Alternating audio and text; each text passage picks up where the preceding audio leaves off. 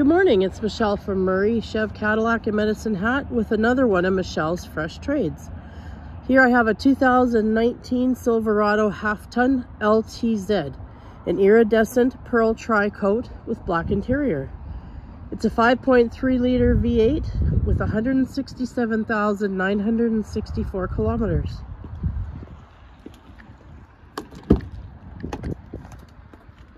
It is fully loaded. We've got heads up display, heated and cooled seats, all leather, um, heated steering wheel. And the best part about this truck is that it already comes with steps and a tonneau cover. So to see this half ton, come see Michelle at Murray's and we'll go for a test drive. Have a good day.